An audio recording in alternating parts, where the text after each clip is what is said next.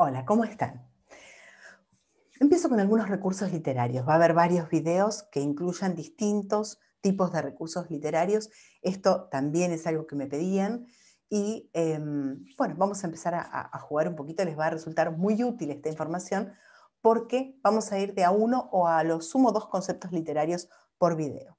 Entonces van a tener tiempo de aprenderlo antes de pasar a otro, a uno nuevo.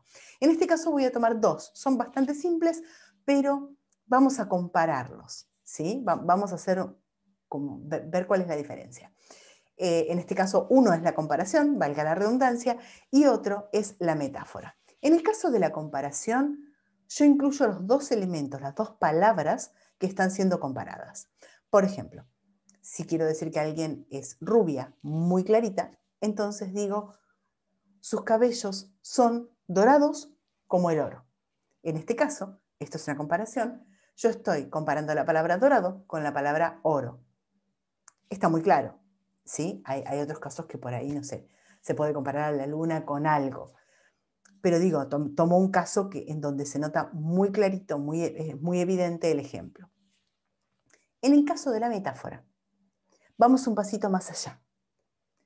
A mí me gusta mucho más la metáfora que la comparación. ¿Por qué? Porque la metáfora reemplaza un término por el otro. Entonces, yo aquí no voy a incluir los dos conceptos, sino solo uno.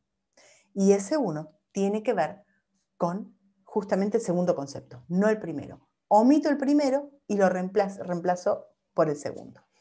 Entonces, en lugar de decir sus cabellos son dorados como el oro, cuando utilizo la metáfora digo sus cabellos son de oro o están hechos de oro o los dioses hicieron sus cabellos con oro o algo así.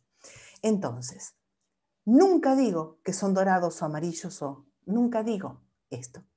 Esto permite que el lector tenga que pensar, tenga que imaginar cuál es el concepto al que yo estoy refiriendo. Esto es muy bueno porque nosotros hacemos al lector imaginar el concepto. Entonces, si vamos a usar una comparación, pensemos si no podemos usar directamente una metáfora, reemplazar un, concepto por el otro y ver qué sale.